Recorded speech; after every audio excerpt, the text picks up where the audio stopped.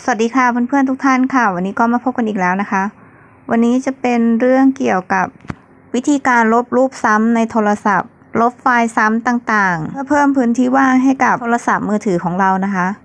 ก็อย่างแรกเลยก็ให้เพื่อนๆมาโหลดแอปที่ Play Store นะคะ ชื่อแอปว่า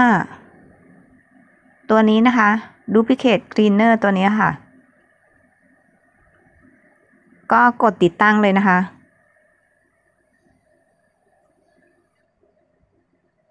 เมื่อกดติดตั้งเสร็จแล้วใช่ไหมคะ ก็ให้เรามาเปิดแอปขึ้นมาเลยค่ะ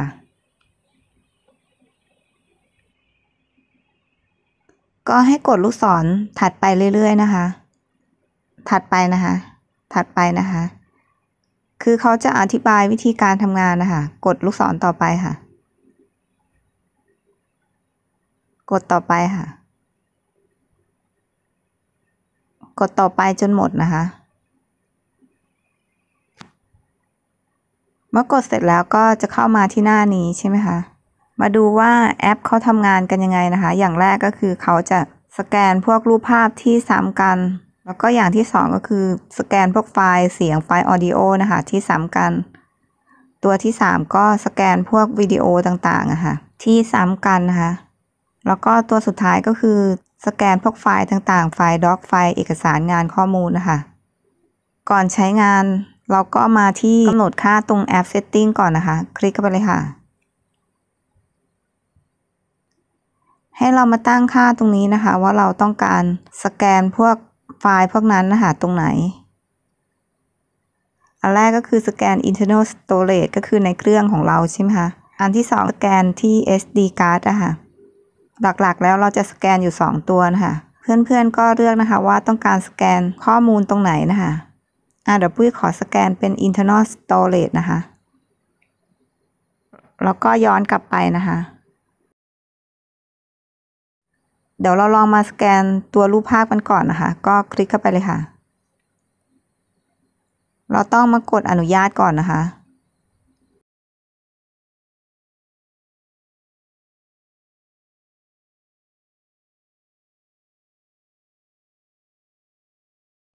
อ่าเราก็จะเห็นว่าเขาสแกนมา แล้วก็เจอรูปภาพที่ซ้ำกันทั้งหมดร้อยสี่ไฟล์ใช่ไหมคะ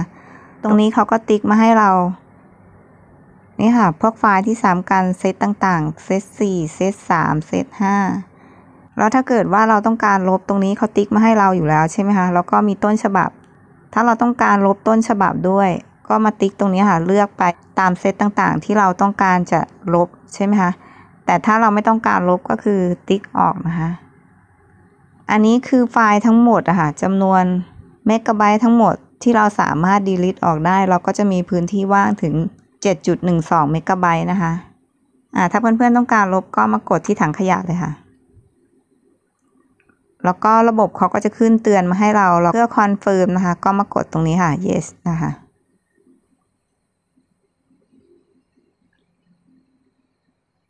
ตรงนี้ก็จะขึ้นศูนย์แล้วใช่ไหมคะ เพราะว่าเราลบรูปภาพที่ซ้ำกันออก อ่าลอง back กลับไปนะคะ ไฟล์อื่นๆ ก็เช่นกันนะคะ เช่นพวก audio วิดีโอหรือว่าพวกไฟล์เอกสารต่างๆนะคะ คลิปนี้ก็จะเป็นวิธีการลบข้อมูลต่างๆ ที่ซ้ำกันนะคะ เพื่อเพิ่มพื้นที่ว่างให้กับโทรศัพท์ของเราอะค่ะ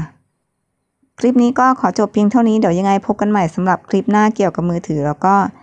แอปพลิเคชันต่างๆ อย่าลืมกดไลค์กดติดตามเพื่อเป็นกำลังใจให้กับช anel เราด้วยนะคะ สวัสดีค่ะ